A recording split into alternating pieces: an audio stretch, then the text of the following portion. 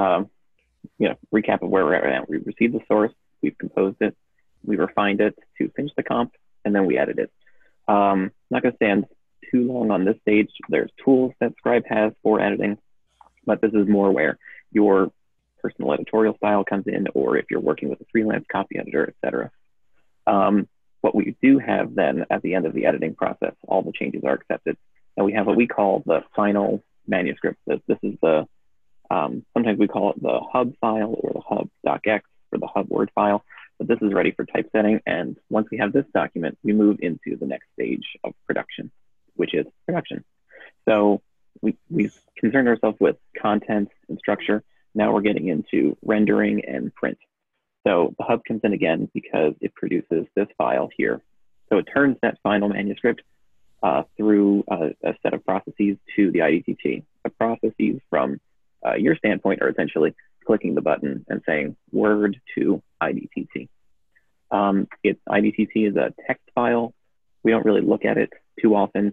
Uh, for the most part, we're just going to use it to go into typeset. Now there's a step kind of between these stages that uh, InDesign tagged text, yeah, that involve design, setting up your template. Um, that can happen in parallel with editing.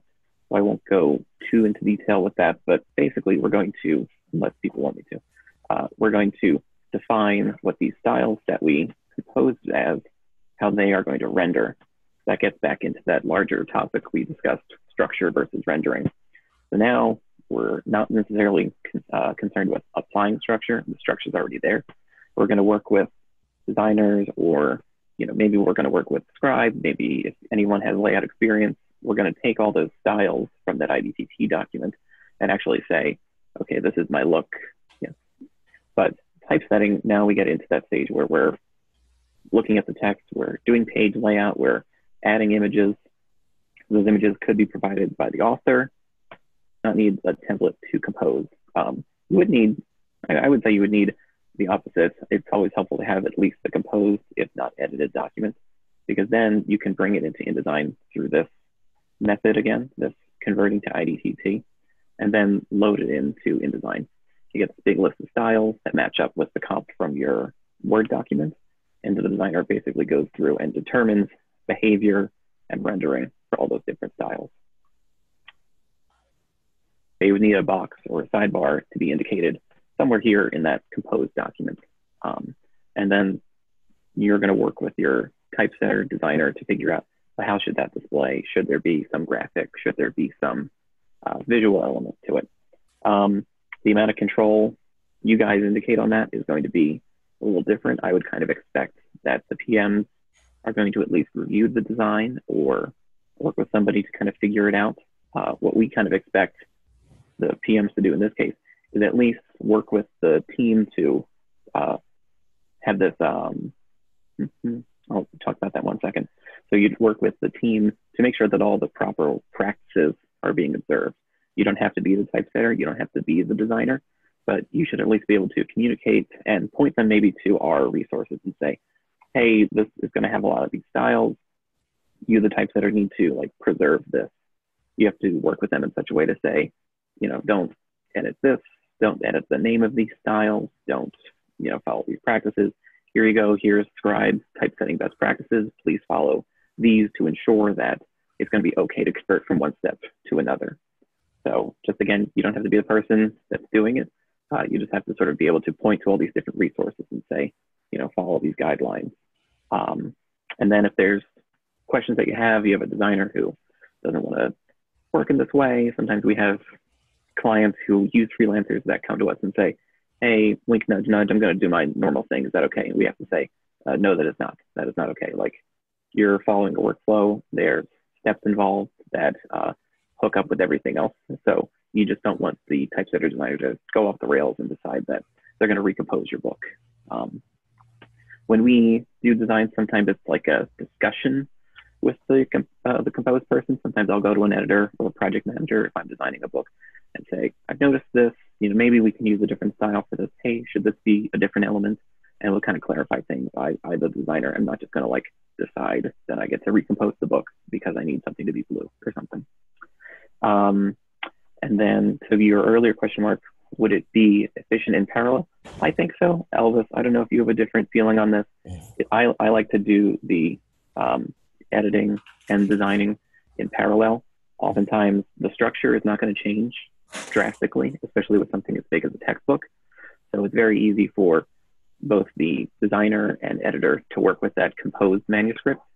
And then the designer can talk about the behavior of things, how these elements are going to work. They can define how things are going to look, all while the editor is um, working with the edited manuscript. It may sound like there could be a problem because we have this split here, but what happens is basically the design uh, functions as a template. You take that final Word manuscript here as the last row, or the first row, last portion, and then the designer is going to clear out all the text in their InDesign template, convert the new document to IDTT, flow in the new file, all the changes that were made in editing are preserved. And it doesn't matter that we started with some older file because we're not doing the whole book. We're just doing a sample to set up everything. And then we have it ready to go so that we can just flow the template or the text right into the template. Right. And just to, to hop in there, um, mm-hmm. just from the project manager's uh, perspective, um, because often, like Tim and I will work together in the same way. Like after we compose, we have a composed file, the editor can go off and, as Tim just said, you know, continue editing that composed file while for example as a project manager i'll talk to tim and i'll say tim you know the composed file is ready here he will start working on the design right so that split happens but um, the there isn't any issue here because then let's say during the edit because just thinking of like worst case scenario after we go through the edit we send that edit to the author and the author says hey you know i'm actually not going to use sidebars at all, bring this all into the text or anything like that. Um, that's a really extreme example. Um, but if something like that were to happen, the we still have the flexibility because the design is just a template. And once we receive this final manuscript, I will let Tim know, hey, this changed in between, you know, the design and now that we have this final file, and Tim will say, I will make the adjustments to the design, create a new sample, and then as a project manager, I'll just communicate with the with the client or with the author in, in your cases um, and say, hey, look, now we've adjusted for what you wanted, and you know our design is proceeding as um, as it should be.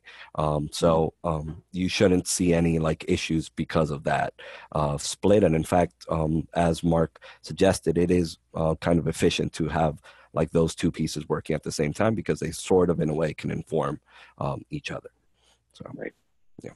Um, I was about to bring up some samples of exactly what we're looking at here. They were the ones that I sent over to uh, Karen, which I believe got distributed to everybody else. So unless there's any questions, we're going to take a look at how what we're doing in Word eventually translates to what happens in the print version of the